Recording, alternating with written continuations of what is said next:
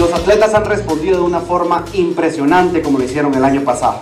Tenemos 69% del cupo lleno, equivalente a 4.820 corredores oficialmente inscritos. El cupo máximo es de 7.000 atletas. Al llegar a ese cupo, las inscripciones se cierran.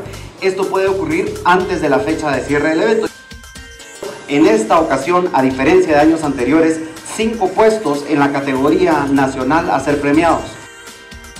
300 agentes de la policía municipal que van a resguardar la seguridad del evento y además de que la seguridad vial está totalmente resguardada por más de 350 agentes de la policía municipal de tránsito que además de van a hacer la coordinación de las rutas alternas para mantener la movilidad de la ciudad.